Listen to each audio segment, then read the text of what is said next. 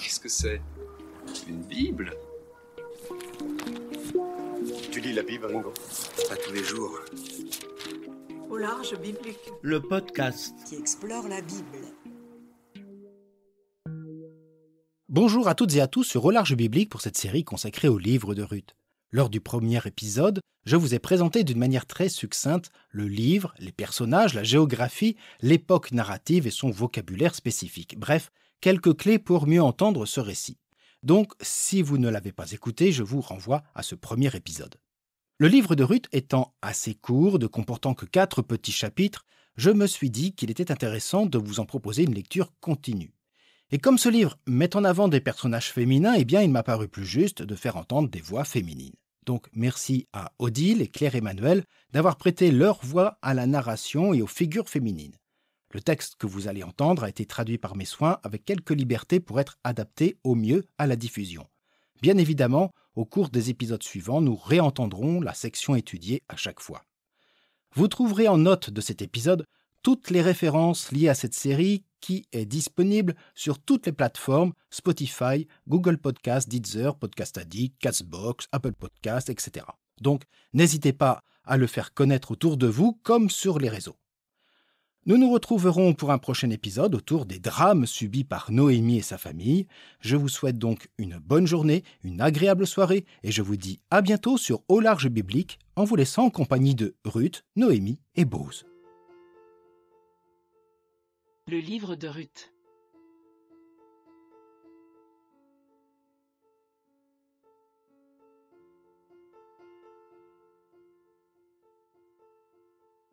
C'était au temps où gouvernaient les juges d'Israël. Il y eut une famille dans le pays. Un homme de Bethléem de Juda partit et émigra au champ de Moab, lui, sa femme et ses deux fils. Le nom de l'homme était Élimélec, c'est-à-dire mon Dieu est roi. Sa femme, Noémie, c'est-à-dire ma gracieuse. Et ses deux fils, Malone, c'est-à-dire maladie, et Kilion, c'est-à-dire épuisement. C'étaient des Éphratéens de Bethléem de la tribu de Juda. Ils arrivèrent donc au champ de Moab et y vécurent. Or, Élimélec, l'époux de Noémie, mourut, et elle resta, elle et ses deux fils. Ceux-ci épousèrent des femmes moabites. Le nom de la première était Orpa, c'est-à-dire volte-face, et le nom de la seconde était Ruth, c'est-à-dire compagne. Ils demeurèrent là environ dix ans. Puis Malone et Kilion moururent tous les deux aussi. Et la femme resta sans ses deux enfants ni son époux. Alors, elle se leva, elle et ses belles-filles, pour s'en retourner des champs de Moab, car elle avait entendu dire dans le champ de Moab que le Seigneur avait visité son peuple pour lui donner du pain. Elle sortit du lieu où elle était avec ses deux belles-filles, et elles se mirent en chemin pour retourner vers la terre de Juda. Noémie dit à ses deux belles-filles Partez, retournez chacune à la maison de votre mère. Que le Seigneur agisse envers vous avec fidélité, comme vous avez agi avec ceux qui sont morts et envers moi. Que le Seigneur vous donne de trouver un lieu de repos, chacune dans la maison d'un époux. Et elle les embrassa. Alors elles élevèrent la voix et pleurèrent. Elles lui dirent Non, Non, nous retournerons avec toi vers ton peuple. Noémie dit retournez mes filles, pourquoi partiriez-vous avec moi? Est-ce qu'il y aura encore pour moi des fils dans mes entrailles qui deviendraient pour vous des maris? Retournez mes filles, partez, car je suis devenue trop âgée pour être un époux. Et même si je disais, il y a encore pour moi de l'espoir, et cette nuit je serai à un époux, et j'enfanterai encore des fils. Est-ce que pour autant vous attendriez qu'ils grandissent? Est-ce que pour autant vous renonceriez à être sans époux? Non, mes filles, ainsi je suis très amère, plus que pour vous. Et c'est contre moi qu'est sortie la main du Seigneur. Elles élevèrent leur voix et pleurèrent encore. Orpa embrassa sa belle-mère, mais Ruth s'attacha à elle. Noémie lui dit Voici ta belle-sœur s'en retourne vers son peuple et vers ses divinités. Retourne à la suite de ta belle-sœur. Ruth répondit Ne m'affronte pas pour t'abandonner et retourner loin de toi. Car où tu partiras, je partirai. Là où tu passeras la nuit, je la passerai. Ton peuple sera mon peuple, ton Dieu, mon Dieu. Là où tu mourras, je mourrai, et là je serai enseveli. Que le Seigneur fasse ainsi pour moi, et qu'il ajoute ceci, qu'il n'y ait que la mort qui nous sépare. Noémie vit qu'elle s'obstinait à partir avec elle, et elle cessa de lui parler. Elles partirent, toutes deux, jusqu'à ce qu'elles arrivent à Bethléem. Lorsqu'elles arrivèrent à Bethléem, toute la ville fut agitée à cause d'elles. Les femmes disaient Est-ce la Noémie? Est-ce la Noémie? Alors, elle leur dit Ne m'appelez plus Noémie, appelez-moi Mara, c'est-à-dire amère, car Shaddai, le Tout-Puissant, m'a rempli d'amertume. Voici que j'étais partie comblée, mais, vide, le Seigneur me fait retourner. Pourquoi m'appelleriez-vous Noémie? Car le Seigneur a répondu contre moi. Shaddai le Tout-Puissant m'a fait du mal. Ainsi, Noémie retourna avec Ruth la Moabite, sa belle-fille. Retournant depuis les champs de Moab, elles vinrent à Bethléem, au début de la moisson de l'orge.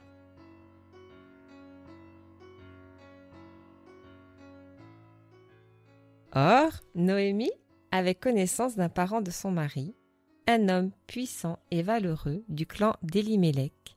Son nom était Boz. Ruth, la Moabite, dit à Noémie Puis-je partir au champ glaner des épis Derrière celui, aux yeux de qui je trouverai grâce? Elle lui dit Pars, ma fille. Elle partit et alla glaner dans un champ, derrière les moissonneurs.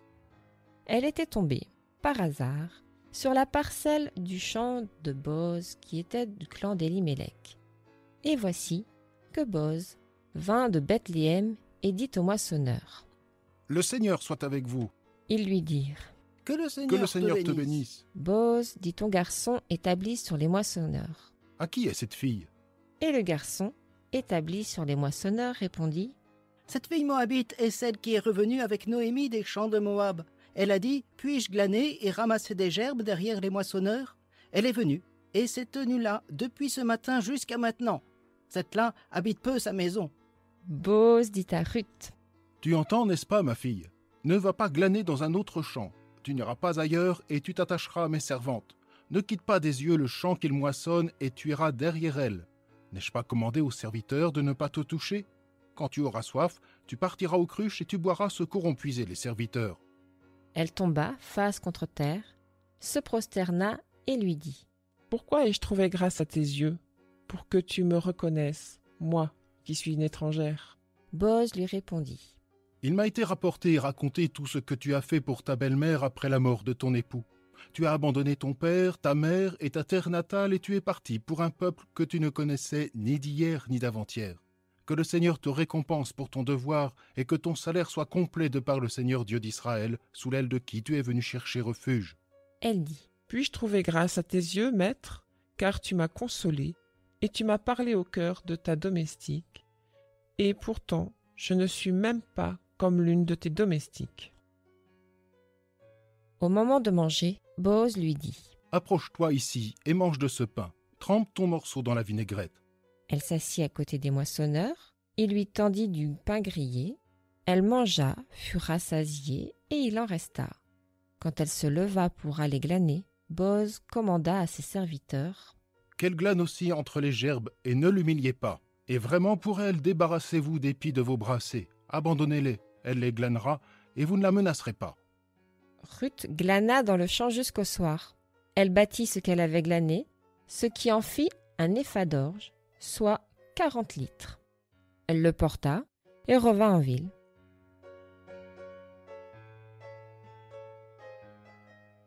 Sa belle-mère vit ce qu'elle avait glané, ce qui lui était resté une fois rassasiée, elle le sortit aussi et lui donna.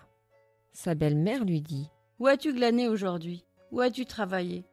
Qu'il soit béni celui qui t'a reconnu. Alors elle raconta à sa belle-mère chez qui elle avait travaillé et lui dit Le nom de l'homme chez qui j'ai travaillé aujourd'hui est Bose. Noémie dit à sa belle-fille Qu'il soit béni du Seigneur celui qui n'abandonne pas sa fidélité, ni envers les vivants, ni envers les morts. Noémie lui dit L'homme est l'un de nos proches, c'est l'un de nos racheteurs. Ruth, la Moabite, lui dit Il m'a dit aussi Attache-toi à mes serviteurs jusqu'à ce qu'ils aient fini toute ma moisson. Noémie dit à Ruth, sa belle-fille Il est bon, ma fille, que tu sortes avec ses servantes et que l'on ne te rudoie pas dans un autre champ. Elle s'attacha alors aux servantes de Bose pour glaner jusqu'à la fin de la moisson des orges et de la moisson des blés. Et elle demeura avec sa belle-mère. Noémie, sa belle-mère, dit à Ruth Ma fille, ne devrais-je pas chercher pour toi un lieu de repos afin que tu sois heureuse? Et maintenant, Boz n'est-il pas notre parent chez qui tu as été avec ses servantes? Voici qu'il doit vanner les orges sur l'air cette nuit.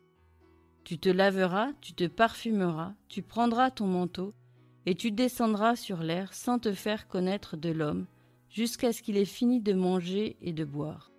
Quand il ira se coucher, tu connaîtras le lieu où il se couche. Tu y viendras, et tu découvriras ses pieds, puis tu t'y coucheras, et lui-même t'indiquera ce que tu dois faire.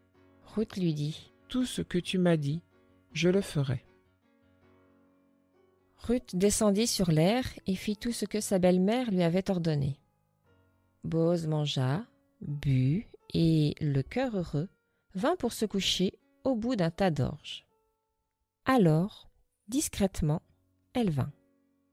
Elle découvrit ses pieds et s'y coucha. Au milieu de la nuit, l'homme frissonna. Il tâtonna, et voici qu'une femme était couchée à ses pieds. Il lui dit Qui es-tu? Elle dit Moi, je suis Ruth, ta servante. Étends ton aile sur ta servante, car toi, tu es un racheteur. Il lui dit Béni sois-tu du Seigneur, ma fille. Par cet acte de fidélité, tu as agi de façon heureuse, plus que pour la première fois, en n'allant pas derrière les jeunes gens pauvres ou riches. Et maintenant, ma fille, ne crains pas. Tout ce que tu me diras, je le ferai pour toi. Car tout le peuple, jusqu'à la porte de la ville, sait que tu es une femme valeureuse. Maintenant, s'il est vrai que je suis un racheteur, il existe aussi un racheteur plus proche que moi.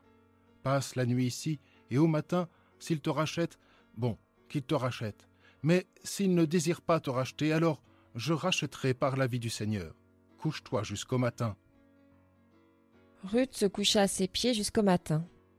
Puis, elle se leva avant l'heure où un homme peut en reconnaître un autre.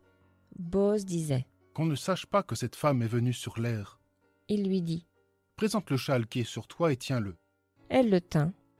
Il lui mesura six mesures d'orge, c'est-à-dire vingt litres, et les mit sur elle. Puis elle revint en ville. Elle rentra chez sa belle-mère qui lui dit Est-ce toi ma fille? Elle lui raconta alors tout ce que l'homme avait fait pour elle, et elle dit Ces six mesures d'orge que voici, il me les a données, car, m'a-t-il dit, ne rentre pas les mains vides chez ta belle-mère. Noémie lui dit Reste ma fille, jusqu'à ce que tu saches comment aboutira l'affaire. Car l'homme sera sans repos tant que l'affaire ne sera pas conclue ce jour même. Bose monta à la porte de la ville et s'y assit. Or, voici que le racheteur, dont Bose avait parlé, passa. Il lui dit Un tel, viens à l'écart et assieds-toi ici. Celui-ci vint à l'écart et s'assit. Bose prit dix hommes parmi les anciens de la ville et dit Asseyez-vous ici. Et ils s'assirent. Alors il dit au racheteur La parcelle du champ, celle de notre frère Elimelech, Noémie, qui est revenue du champ de Moab l'avant. Et moi j'ai dit que je te mettrai au courant en disant Acquiert devant ceux qui sont assis là et devant les anciens de mon peuple. Si tu veux racheter, rachète. Mais si tu ne rachètes pas, dis-le-moi que je le sache, car nul, excepté toi, peut racheter. Moi, je viens après toi. Il répondit Moi, je rachète. Bose lui dit Le jour où tu acquiers le champ de la main de Noémie, tu acquiers aussi Ruth, la Moabite, la femme du mort, afin de relever le nom du mort sur son patrimoine. Le racheteur dit Je ne peux pas racheter à moins de ruiner mon patrimoine. Toi, rachète pour toi mon droit de rachat, car je ne peux pas racheter. Ainsi en était-il, autrefois en Israël, à propos du droit de rachat ou de l'échange. Pour conclure toute affaire, l'un ôtait sa sandale et la donnait à l'autre. Telle était l'attestation en Israël. Le racheteur dit à Boz, Acquiert pour toi? et il ôta sa sandale. Alors Boz dit aux anciens et à tout le peuple, Vous êtes témoins en ce jour que j'acquiers tout ce qui était à Elimelech et tout ce qui était à Kélion et Malon de la main de Noémie. Mais aussi Ruth, la Moabite, femme de Mahalon. Je l'acquiers pour moi, pour relever le nom du mort sur son patrimoine, et que le nom du mort ne soit pas retranché d'entre ses frères, ni de la porte de sa ville, ni de son lieu. Vous en êtes témoins aujourd'hui. tout le peuple qui était à la porte et les anciens dirent, Nous sommes Nous témoins sommes témoins. que le Seigneur donne à la femme qui vient en ta maison d'être semblable à Rachel et Léa, qui ont bâti à elles deux la maison d'Israël. Fais fortune en Ephrata et proclame un nom à Bethléem Que ta maison soit comme la maison de Péret, que Tamar enfanta à Judas. Avec la descendance que le Seigneur te donnera de cette jeune fille. Boz prit Ruth, et elle devint son épouse. Il vint vers elle. Le Seigneur lui accorda une grossesse, et elle enfanta un fils. Les femmes dirent alors à Noémie, Béni soit le Seigneur qui ne t'a pas laissé manquer d'un racheteur en ce jour. Que son nom soit proclamé en Israël. Il sera pour toi celui qui te fait retourner à la vie et pourvoira à ta vieillesse. Car ta belle-fille qui t'aime l'a enfantée. Elle est bonne pour toi mieux que sept fils. Alors Noémie prit l'enfant et le mit sur son sein. Et elle devint pour lui comme une nourrice. Les voisines proclamèrent pour lui un nom en disant Un fils est né à Noémie. Elles proclamèrent son nom, Oved. Il fut le père de Jessé, père de David.